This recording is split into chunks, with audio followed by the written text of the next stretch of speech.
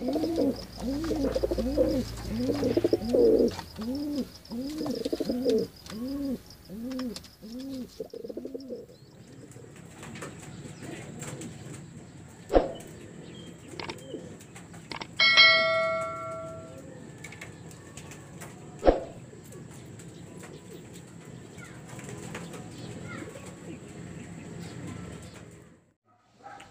guys, welcome back sa Love Below. Ay, so Friday loading ulit tayo. Ah, kahapon nga nag-load tayo MPC. Yung resell natin, niload na natin. Tapos today naman, Friday, itong dalawa naman natin blue bar. Sa RRPC naman tayo maglo-load. So ayun, nakapagpatokan na ako.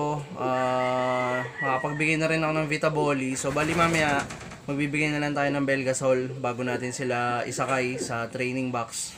Na- natapos na uli natin yung sa linggong conditioning. Ah, medyo, ano nga lang tayo ngayon, medyo nagulo.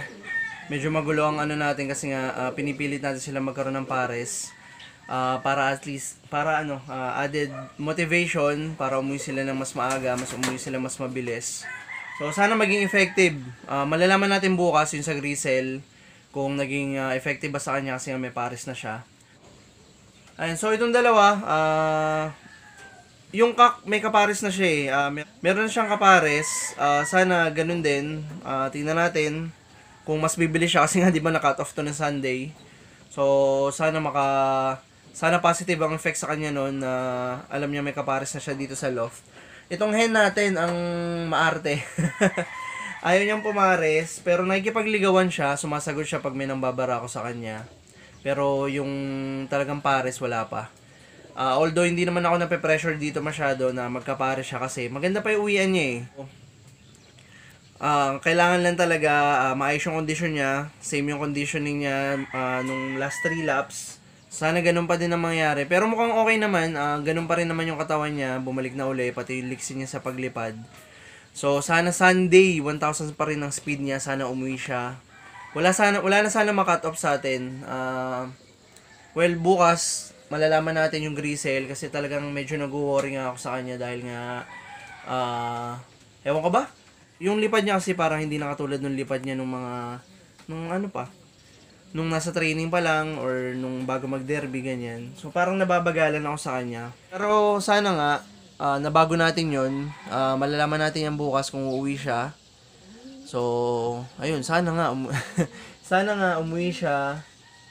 Ah, wala, wala na tayong magagawa eh. Ando na siya, nakasakay na. So, ah, pagdasal na lang natin na uwian tayo ng na uwian tayo ng Grisel and sana on time. So, sana before ng cut off nandito na siya.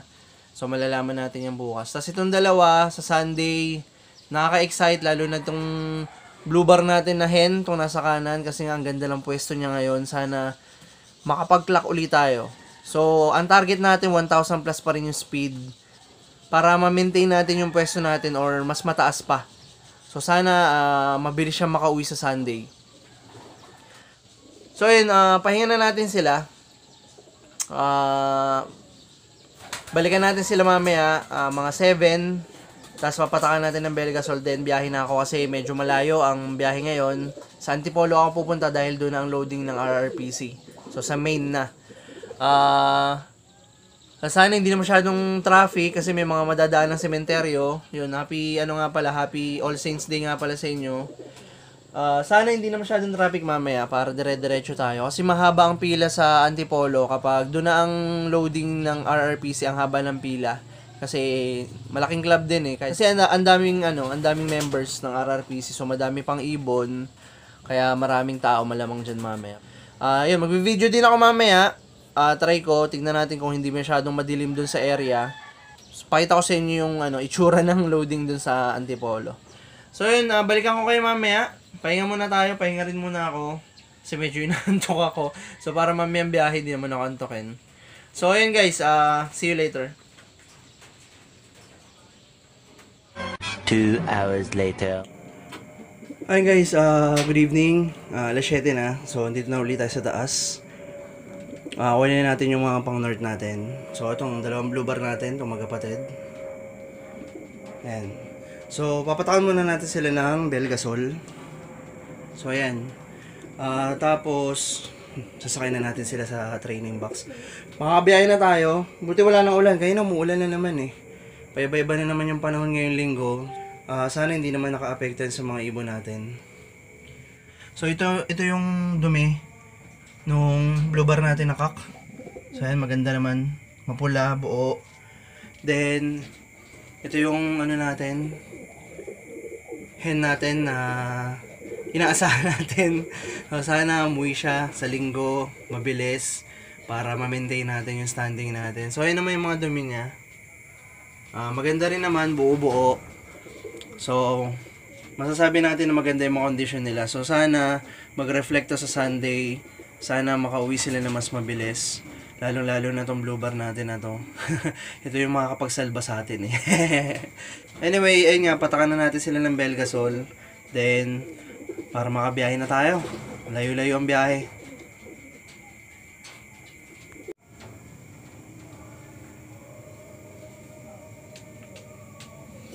Yung, ito yung kak natin.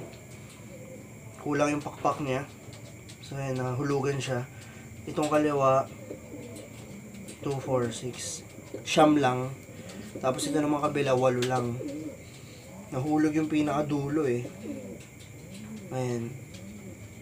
Tapos itong pang tent niya, kakatubo lang din. Nahulog to, ewan ko. Na-feathering naman to, pero nahulugan pa din. Pero, ayun nga, okay na siya. Mahaba-haba na. So, hindi siguro yung dahilan kung bakit nahihirapan siya lumipad ng mga huling ah, lap natin. Pero yan. Medyo maganda yung katawan niya. Dilob na.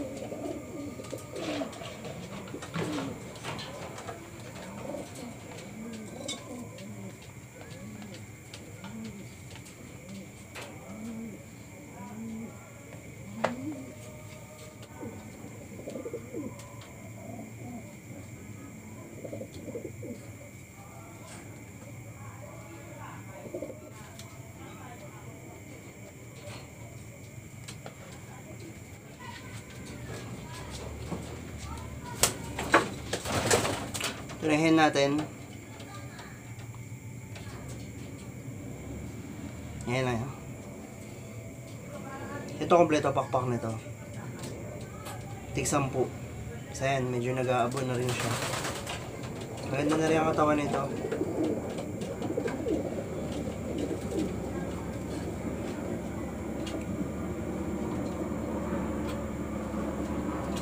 Ayan, sana umuwi sa linggo. Sana mag-clock to maaga.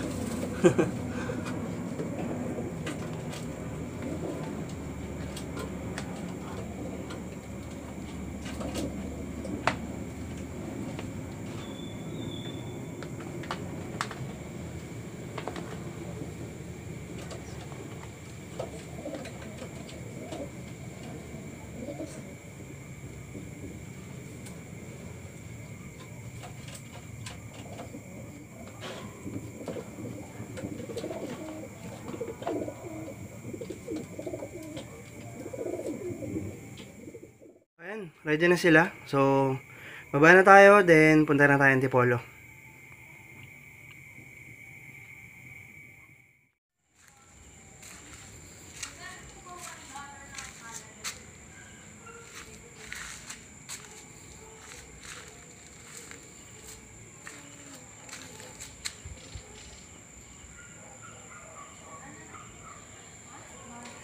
O guys, so eto na, nakaready na yung motor natin, nakaready na yung mga ibon natin. Ayan. So tara, biyahe na tayo. Para makabalik din tayo kagad. Baka umulan na naman eh.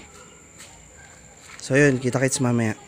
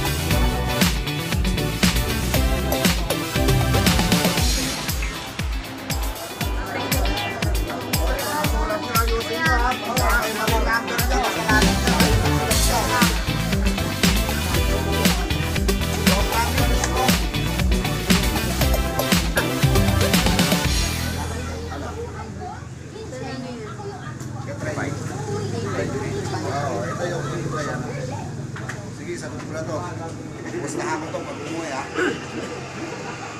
Hindi na-entry ng derby to. Nawala sa bagabag eh. Sa uli lang na. Ay, nabutan na naman tayo ng ulan. Kakawi ko lang from Antipolo. Ayun, so naiload na natin yung dalawa nating blue bar. Ah, yung magkapatid. Ay, nako. Ninervyos na ako. Sana umuwi sila sa linggo. Ah, lalong-lalo na yung blue bar natin na hen, yung contender natin, yung nasa magandang standing ngayon. Sana umuwi siya. Pero yung blue bar din naman natin, sana umuwi pa siya kasi may chance pa naman siya. Ah, kasi isa pa lang naman butas niya. Ayun, ah, ayun ako. Sabi ko nga kahapon, ah, dun sa grisel natin, ah, hindi na natin kontrolado yung kapalaran nila. So, yun, sana ah, bigyan tayo ng swerte sa linggo. Ah, sana ano, mapawi pa natin sila maaga. Ah, anyway, ah, bukas, ah, abangan tayo ah, sa MPC. So, yun nga, yung Grisel nga, di ba? Sirain natin kahapon. So, bukas yung release nun sa Gataran. Ah, mga ano ata yun, mga nasa 400 kilometers na ata yun. So, malayo. Sana kayanin ng Grisel natin. Kahit medyo nag-worry nga ako sa kanya. Sana kayanin niya. So, ayun guys. ah, ayun lang naman for today. So maraming salamat sa panonood, maraming salamat sa patuloy na pagsubaybay. Sana pagdasal niyo yung mga ibon natin. yung grisel ah, para bukas, then sa Sunday naman yung dalawa natin blue bar, sana makauwi sila lahat. Ah, yun, yun sa mga hindi pa nakasubscribe, ah, please ah, subscribe kayo. Ah, click nyo lang yung subscribe button, pati yung notification bell para updated kayo sa mga videos natin.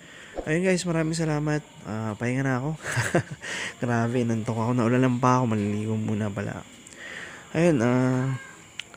pahinga na ako guys. Ah, grabe, nakakapagod yung biyahe. Sobrang traffic kasi kanina. Na- May mga nadaanan akong sementeryo. Marami pang tao. Tapos medyo umuulan pa.